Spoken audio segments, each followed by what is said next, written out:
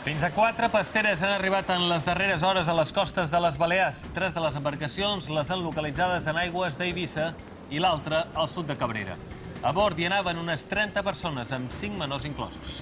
En aquests moments hi ha nombrosos detenguts. Els sense papers es troben en dependències policials en espera de passar a disposició judicial.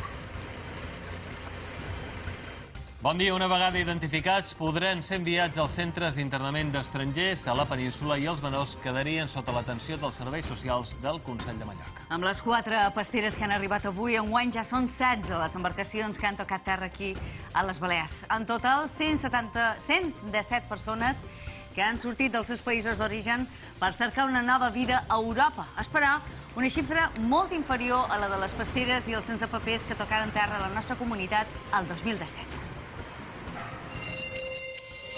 La boira que s'ha aixecat avui a les illes provoca cancel·lacions i retards als aeroports de Palma i Eivissa. Escobolà ha estat l'aeròdrom més afectat en quatre connexions amb Palma suspeses, fet que ha causat demores al llarg del dematí.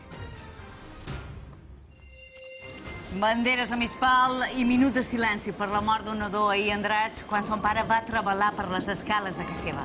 Segons els investigadors, tot apunta que va ser un accident.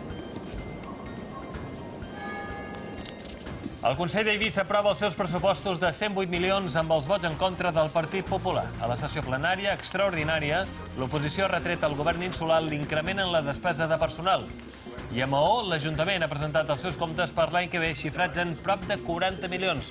Una part important es destinarà a la recuperació d'edificis públics.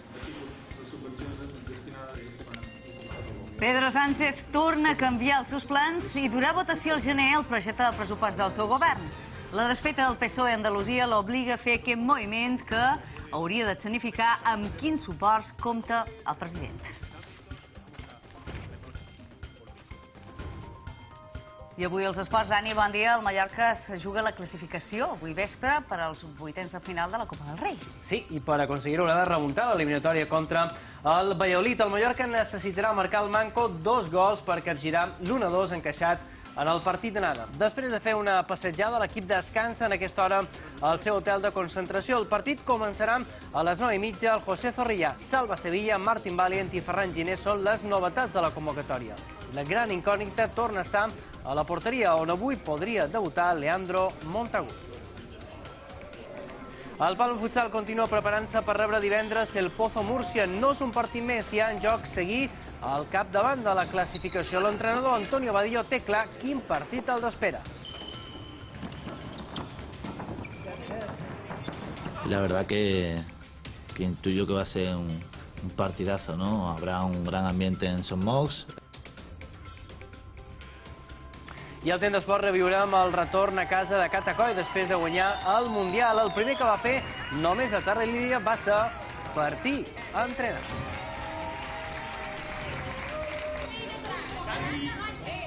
I avui s'ha firmat un acord que permet satisfer una petició llargament reclamada pels veïns d'Escastell.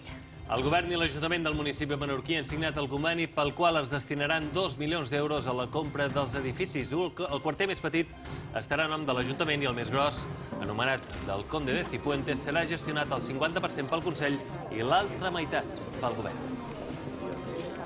6 metres que formen